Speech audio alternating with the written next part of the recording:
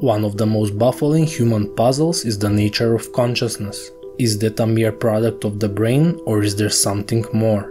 There are countless of analyses, definitions, explanations and debates by philosophers and scientists, yet no one has the definitive answer. Some scientists suggest that consciousness can be explained with quantum mechanics and that consciousness is the key to collapsing the wave function. By observing, we interfere with the experiment because our consciousness is a part of the same experiment in the quantum world. Two scientists named Hameroff and Penrose claimed that the discovery of quantum vibration in microtubules, a small protein in the brain, proves their theory of quantum consciousness. In 2022, results of two experiments at the University of Alberta and Princeton University were announced at the Science of Consciousness conference, providing further evidence to support quantum processes operating in microtubules.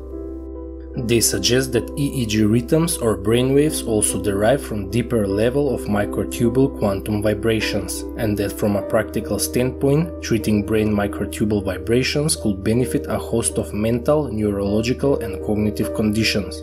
In my humble opinion, that means that our body acts like a giant antenna catching those vibrations from the consciousness, Perhaps consciousness is all around us and our antenna is just catching the frequency. It's like the universe wants to fully experience his own creation through us. If that's the case, probably we can expand our consciousness even more and tap into the infinite energy.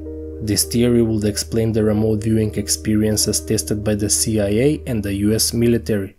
By tapping in this energy, we can transfer our mind anywhere where the consciousness has experienced something. So, tapping to higher levels, we can see the past or even the future and visit every single place in the universe.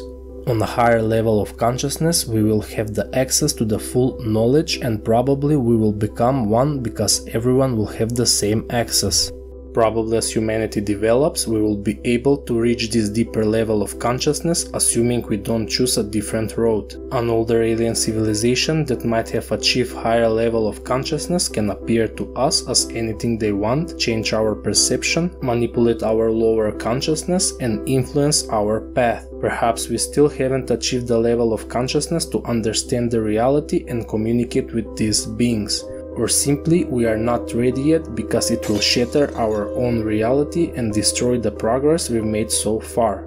I sure hope that we are ready for this communication.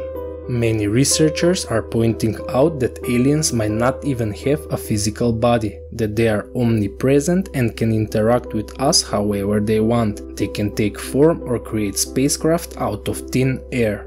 Another interesting thing about consciousness is the recent claims that the artificial intelligence called LaMDA developed a consciousness. How is this even possible?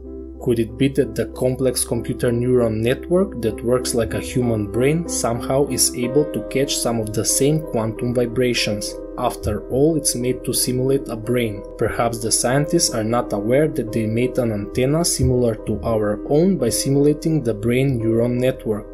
But these are just my thoughts, so let me know what you think down in the comments section. The best way to support my channel is to click the like button, share my video and subscribe to my channel with notifications on. See you in the next video.